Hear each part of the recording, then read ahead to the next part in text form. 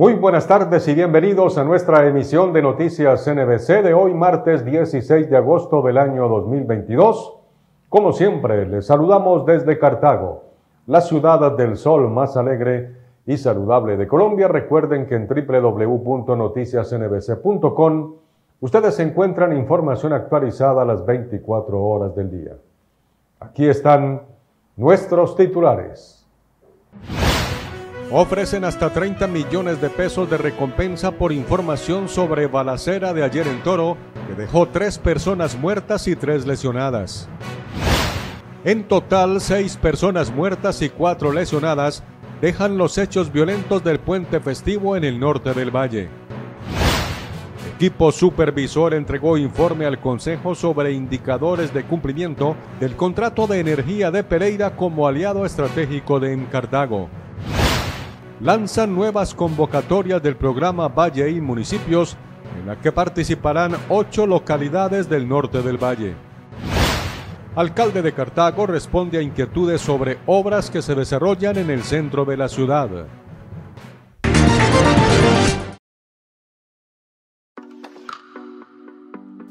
En este momento iniciamos con la hora Eurosalud, la salud que todos merecemos. Comuníquese entre la 1 y las 2 de la tarde con el Instituto Eurosalud al número 602-486-9029 y reciba el 10% de descuento en consulta médica general, consulta de especialistas, servicios de enfermería, laboratorios, imágenes diagnósticas como ex ecografías Doppler. Al llamar, utilice la palabra clave salud para ser identificado y hacer uso de su descuento.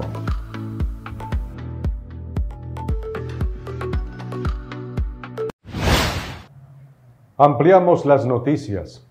Lamentablemente tuvimos un fin de semana, un puente festivo muy violento en el norte del Valle del Cauca, donde el hecho más delicado se presentó este lunes en el municipio de Toro, donde una balacera dejó tres personas muertas y tres más lesionadas. En total, fueron seis personas las asesinadas este fin de semana en la región del norte del Valle. Tres personas fallecidas y otras tres lesionadas es el saldo final que dejó la balacera ocurrida ayer lunes en el municipio de Toro. El hecho se presentó hacia las 5 de la tarde cuando, según las autoridades, cuatro sujetos armados que se movilizaban en dos motocicletas llegaron hasta un establecimiento público de razón social La Barra, localizado en el sector de la antigua galería, y procedieron a disparar contra varias personas que departían allí en el municipio de Toro Valle, en un establecimiento comercial ubicado en el sector de la galería de este municipio, se presenta el homicidio de tres personas que fueron ultimadas con arma de fuego por unos sujetos que se movilizaban en dos motocicletas. En este mismo hecho resultaron lesionadas tres personas más, quienes se encontraban departiendo en este establecimiento y fueron trasladadas a centro asistencial y no registran gravedad. Producto del ataque perdieron la vida en el lugar de los hechos Jaime Rengifo, su hija Andrea Rengifo y otro hombre sin identificar. El mismo hecho resultaron lesionadas otras tres personas que se encontraban departiendo en el establecimiento, quienes fueron trasladadas a un centro asistencial y no registran gravedad.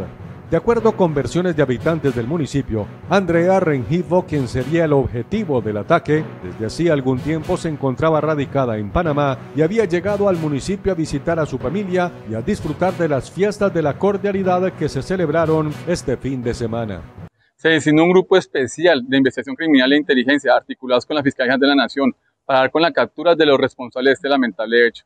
Asimismo, se ofrece una recompensa hasta de 30 millones de pesos por información que permita la identificación y la captura de estos criminales. En un comunicado, el alcalde de Toro, Juan Carlos Escudero, lamentó el hecho y señaló que se trató de un caso aislado que no tuvo relación con el desarrollo de las festividades, las cuales continuaron hasta esta madrugada nuevo hecho violento se registró en la ciudad de Cartago, donde la víctima fue un hombre quien fue atacado con arma de fuego.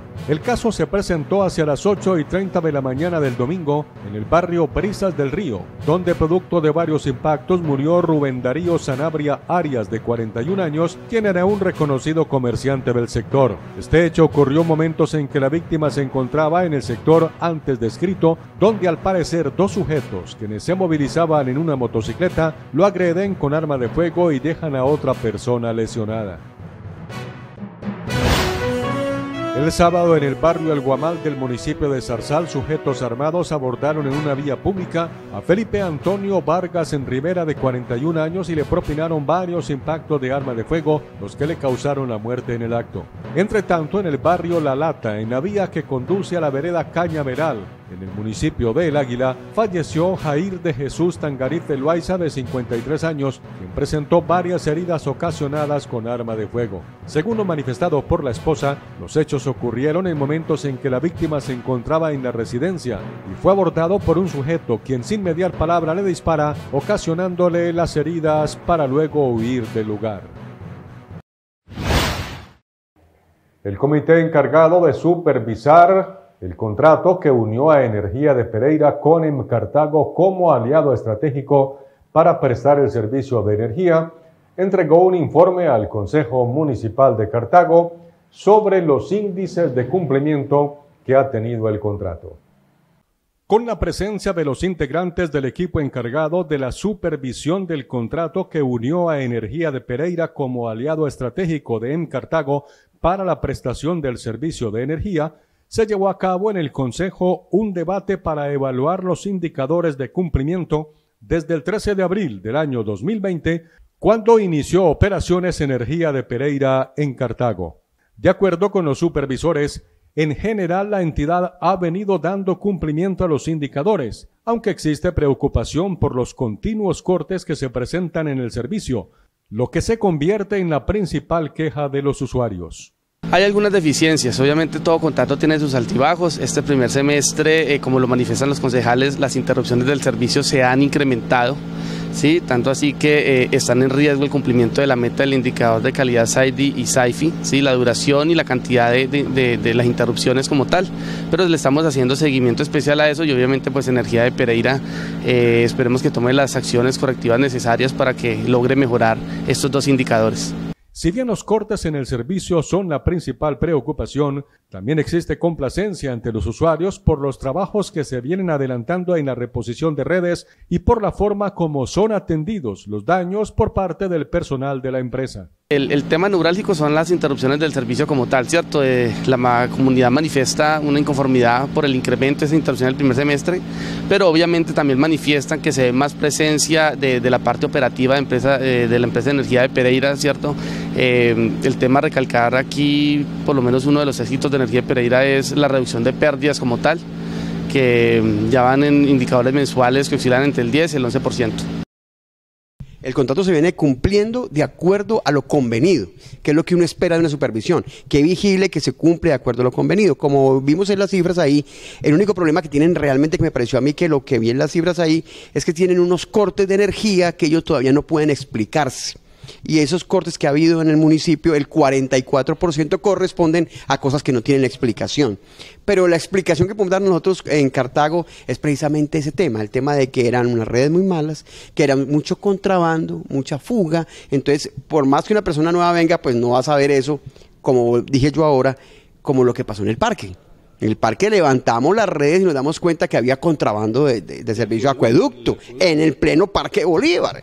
Entonces esas son cosas que ellos no saben y que apenas están aprendiendo. Yo espero que en muy corto tiempo hayan aprendido y ese 44% de los cortes ya no vuelva a ocurrir porque ya saben por qué está pasando. El concejal Enrique Naranjo es uno de los cabildantes que más ha estado pendiente de lo que ha dejado la llegada del operador Energía de Pereira a Cartago, la que en términos generales es positiva. Yo, yo, Gerardo Naranjo, y política sería que yo los servicios públicos nunca los privatizaría, nunca.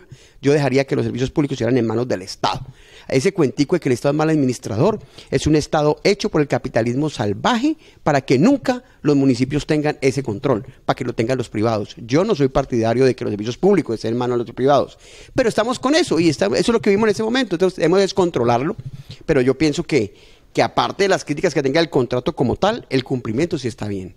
Energía de Pereira viene haciendo inversiones este año por más de 600 millones de pesos en la reposición de cerca de 5.000 metros de cables obsoletos por cable ecológico, con lo cual se busca dar más continuidad al servicio. También se hace la reposición de 37 postes que estaban en mal estado. Y tenemos más noticias NBC para ustedes a esta hora de la tarde. Motociclista quien al parecer intentó esquivar un hueco que hay en la vía, falleció el sábado en la carretera que de Cartago conduce a Anserma Nuevo tras perder el control del vehículo. El occiso, identificado como Hernán Darío Colorado de 47 años, se desplazaba a bordo de una motocicleta Yamaha de placa HCD 013 hacia Anserma Nuevo donde residía caso se presentó hacia las 7 y 50 de la noche en el sentido Cartago-Ansermanuevo, unos metros antes del puente de Anacaro sobre el río Cauca.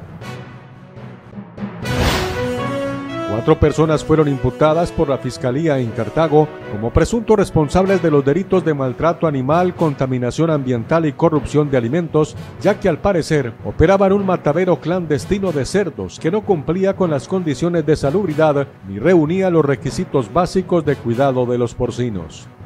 En diligencias de registro de allanamiento realizadas por unidades de la Policía Nacional, se constató que los animales permanecían y eran sacrificados en pésimas condiciones de salubridad. Posteriormente, la carne era transportada a establecimientos comerciales y vendida como si fuera un producto apto para el consumo humano.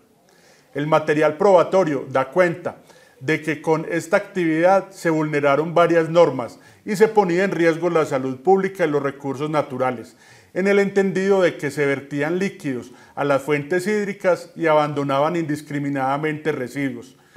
Los procesados son José Alexander Ocampo Ruiz, Rubén Darío Zuleta Bermúdez, Marco Antonio Bedoya Sánchez y Osvaldo Rendón Pedraza. Estas son las suspensiones programadas del servicio para esta semana por parte de la empresa de energía de Pereira dentro de su programa de renovación de la infraestructura eléctrica y mantenimiento. Este miércoles de 8 de la mañana a 12 del día se elaborará en dos frentes, uno en la carrera 21 entre calles Cuarta B y Cuarta C del barrio San Jerónimo y la calle 16B entre carreras Octava Norte y Novena Norte del barrio Prado Norte. Jueves se afectará la vía Dardanelos de 8 de la mañana a 5 de la tarde, mientras que el viernes el corte será entre las 8 y 30 de la mañana y las 4 de la tarde en la vía La Herradura, La Nubia, La Bagatela, La Olla y la planta hidráulica. Ya estamos de regreso con más noticias NBC.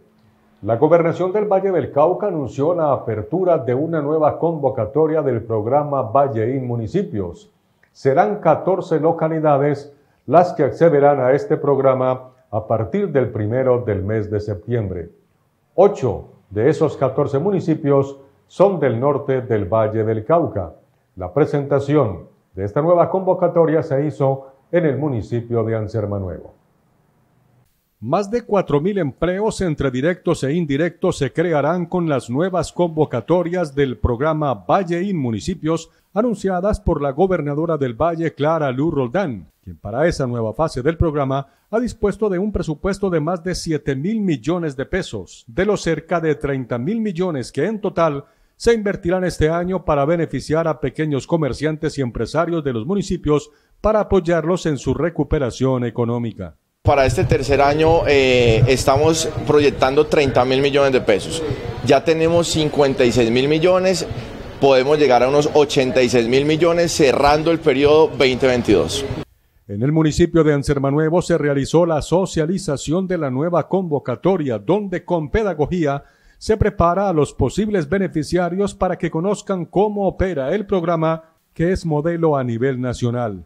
Este programa se convierte en uno de los más exitosos de todo Colombia en materia de emprendimiento. Digamos que ninguna gobernación había llegado de manera descentralizada a los municipios y aquí dando buenas noticias para Anserma Nuevo, este que es la tierra del bordado, tierra del norte del valle, donde estamos lanzando hoy 600 millones adicionales 150 millones que coloca la alcaldía municipal y 450 la gobernación del Valle. Para la gobernadora es motivo de orgullo eh, decir que es la marca más sonada del gobierno Valle Invencible, el Fondo Valleín. Y bueno, así como ya llevamos en dos años de gobierno 169 ganadores, esperemos que tengamos por lo menos 100 más con esta nueva convocatoria y saludar a la alcaldía porque han hecho un trabajo increíble en equipo con nosotros. De los 14 municipios que han calificado para esta nueva convocatoria, 8 son del norte del valle. Anserma Nuevo, El Dobio, Roldanillo, Zarzal, Versalles, La Unión, Bolívar y Caicedonia. La contrapartida que significa que nos colocan un certificado de disponibilidad presupuestal y según la categoría nosotros contestamos con otro certificado de disponibilidad presupuestal. Son los 14 más juiciosos. Los que levantaron la mano dijeron, aquí va mi CDP. Quiero decirles, hay otros municipios que están gestionando sus recursos. Puede ser que más tarde, en un mes, en dos meses, lancemos otros 5, 6, 7, hasta 10 municipios más. Estamos abiertos para ello y nosotros estamos listos para responder con nuestros recursos. Para mí es de los mejores programas que tiene la gobernación y obviamente pues traerlo aquí a nuestro municipio que somos de esta categoría. Y ahorita les contaba porque son oportunidades digamos eh, ser más demasiado rural entonces nos hemos puesto en la tarea desde el primer año de llegar a toda, toda y cada una de las tiendas que tenemos aquí en nuestro municipio.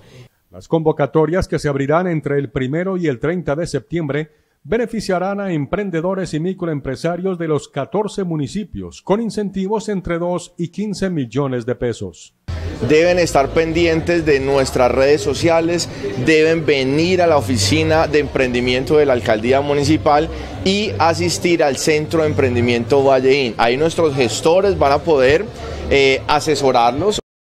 Ahorita en Sermanuevo es un ejemplo a nivel de norte del valle porque eh, ahorita ellos van a, van a arrancar, ahorita en esta fase, porque muy juiciosamente con todo ese equipo de trabajo de Valle y de la alcaldía se ha podido articular y se ha podido generar este, este beneficio a la gente. En sus dos años y medio de vigencia, el programa Valle In Municipios ha impactado a más de 8.000 emprendedores y microempresarios en todo el departamento, ha contribuido a la generación de unos 19.000 empleos y ha tenido una inversión superior a los 56 mil millones de pesos.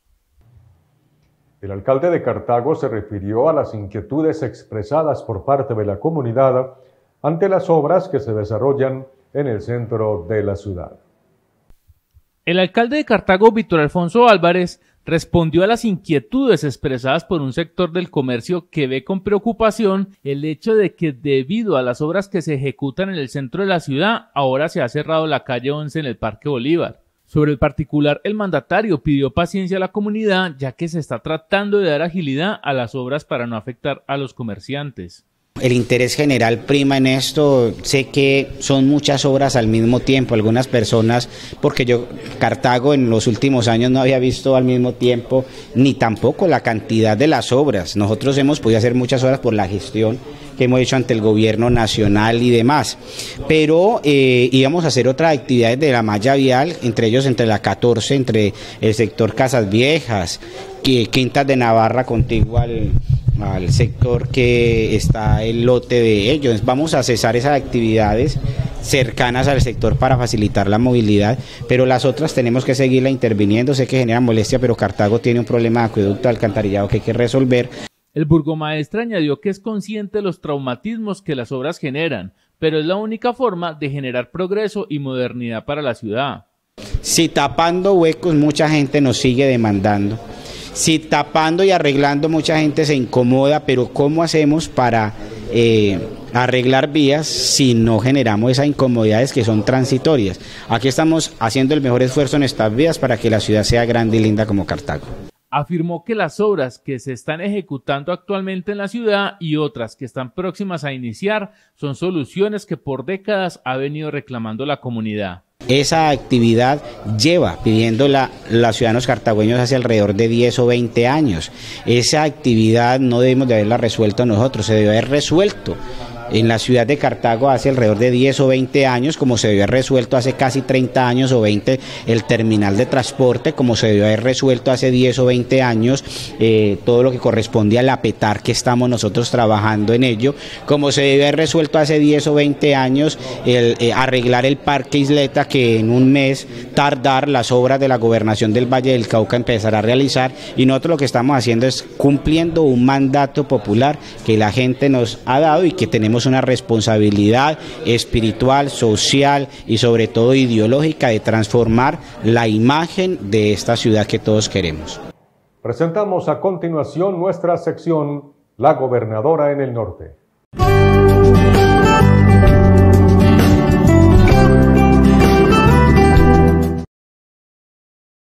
En el marco de la primera cumbre de alcaldesas y alcaldes del litoral pacífico colombiano, la gobernadora del Valle Clara, Luz Roldán González, le solicitó al presidente de Colombia, Gustavo Petro, continuar con la inversión de proyectos de infraestructura vial hacia Buenaventura. Se trata de obras de importancia nacional que son positivas para la región Pacífico. El dragado de Buenaventura. Hoy cada día perdemos más competitividad con Pozorga de Ecuador porque nuestro puerto no está a 16 metros de profundidad. Otro gran proyecto, presidente, y que sé que es un sueño de todos los colombianos, es el Pacífico a la Orinoquía. Y hay un primer tramo que está listo, que es Mulalólogo Guerrero, que mejora la conectividad y disminuye el tiempo entre Cali y Buenaventura en 40 minutos. Nosotros ya estamos en la etapa de factibilidad del primer eh, tramo de Cali-Jamundí para el tren de cercanías. Asimismo, la mandataria de los Vallecaucanos le solicitó al presidente de Colombia seguir impulsando proyectos sociales para el departamento. Insisto, los comedores comunitarios los ejecutamos con la arquidiócesis de Cali, tanto la alcaldía como Propacífico como la gobernación, y le damos de comer a más de 120 mil personas al día congresistas del bloque regional se unieron a estas peticiones que hizo el gobierno departamental. En el aspecto de requerir para el departamento inversión social para, nuestra, para nuestro Pacífico. Ahora lo que toca es que este bloque parlamentario se una, sea opción positiva para el departamento.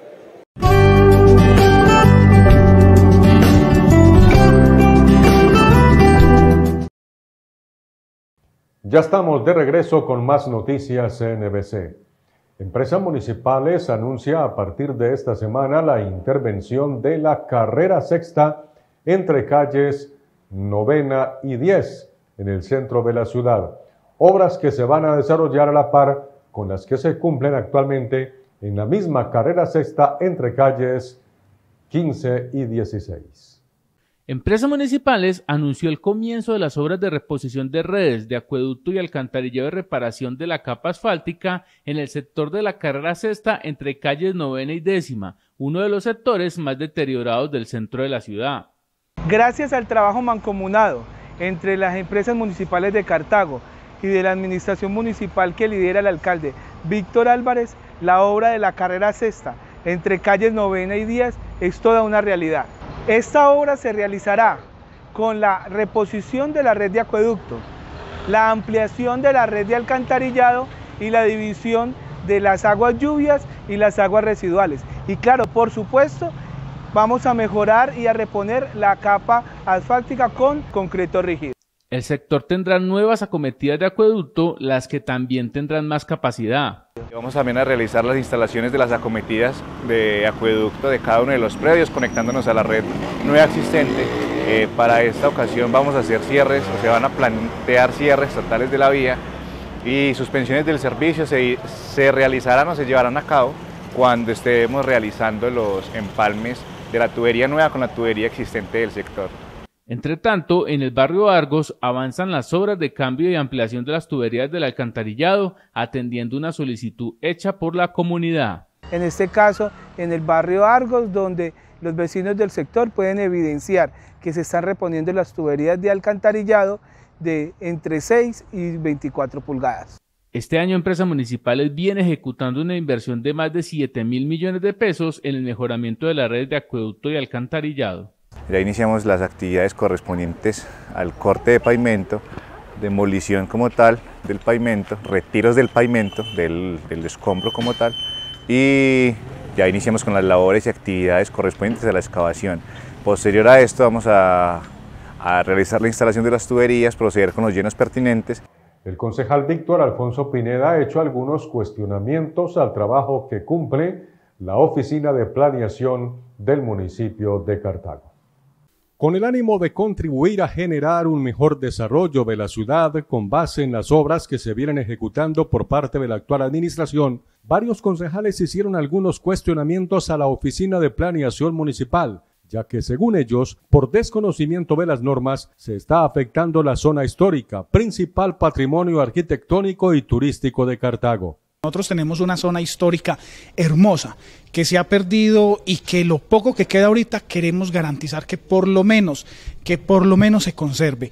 Eh, una serie de valencias, que hay un estudio de la Universidad del Valle eh, que se realizó donde determina cuál es ese centro histórico, cuáles son esos muebles e inmuebles que se pueden conservar y que nosotros obviamente debemos velar para que estos espacios, estos bienes inmuebles se, se mantengan, que se mantengan hermosos, para que esa manera de lo que estamos fortaleciendo nosotros en el turismo, poder enamorar a todos los colombianos y, al extranjero. Agregó que la falta de planeación también se evidencia en las nuevas construcciones que se vienen haciendo en la ciudad, ya que en varios casos los propietarios han terminado perjudicados. Claro que sí, pues es evidente que hay sectores de Cartago que se están viendo en inundaciones eh, con estos grandes torrenciales, de acuerdo al cambio climático, donde realmente las personas más pobres, las más humildes, hoy están perdiendo sus, sus bienes inmuebles. De hecho, eh, no es lo mismo que una persona de estrato 5 o 6 se, inunde porque pues finalmente al otro día va y compra lo que se le haya perdido. Estas personas son de escasos recursos que tienen que recurrir a ayudas, a, a hacer colectas para poder solventar todas estas necesidades.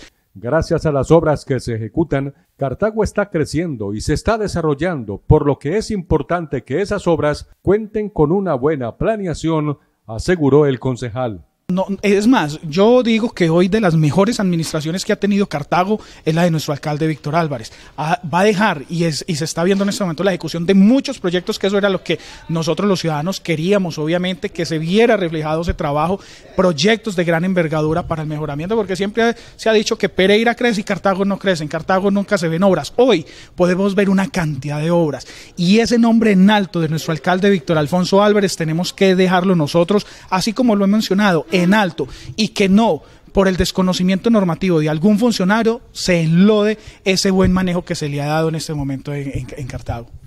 Este pronunciamiento generó una discusión en el interior de la corporación sobre si el secretario de Planeación debería ser invitado o citado a las sesiones para que responda a estas inquietudes. Sea invitación o sea citación, acá lo importante es que realmente se, se, tenga acá la presencia del secretario de Planeación, del doctor Jaime Aurelio, y que nos cuente, de acuerdo a esa ley que yo cité hoy acá, cómo está haciendo hoy planeación para trabajar de acuerdo a todo ello. Esa es como la importancia y que se debe esa sana deliberación dentro del recinto de la democracia que es el Consejo Municipal. Ya estamos de regreso. La Biblioteca Pública Marco Fidel Suárez de la ciudad de Cartago continúa fortaleciéndose. En esta oportunidad, varios escritores y poetas hicieron donaciones de sus obras a la entidad. Varios de los poetas y escritores que participaron en el Congreso Internacional de Arte, Danza, Música y Poesía, llevado a cabo en Cartago recientemente, aprovecharon su venida a la ciudad para donarle a la Biblioteca Pública Marco Fidel Suárez algunas de sus obras. Entre los libros donados y que pueden ser consultados en la biblioteca está Marzo 2020 de la escritora Gloria Obonaga, que nació en plena pandemia. Son 34 años yendo a Roldanillo y ahí nos hicimos amigas con las crisálidas. Todas envejecimos y nos volvemos a reencontrar hoy sin tapaboca. También reposa allí el libro Una sonrisa del haiku, obra premiada en el concurso Estímulos del Ministerio de Cultura. Una obra muy bella que va a engalanar nuestro fondo bibliográfico, nuestra biblioteca. Y como ustedes bien lo saben, tenemos varios lectores, poetas que trabajan con este arte, con este estilo del haiku.